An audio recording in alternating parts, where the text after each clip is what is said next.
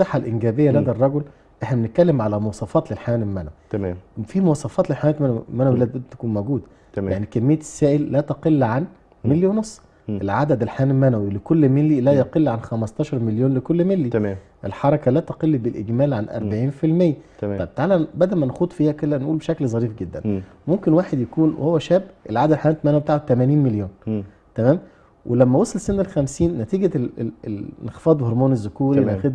انخفاض معدل الغدد ال- في. الخصية اللي بتفرز الحيوان المنوي تمام اللي هو طبيعي إنه ينزل تمام هيقل لحد كام؟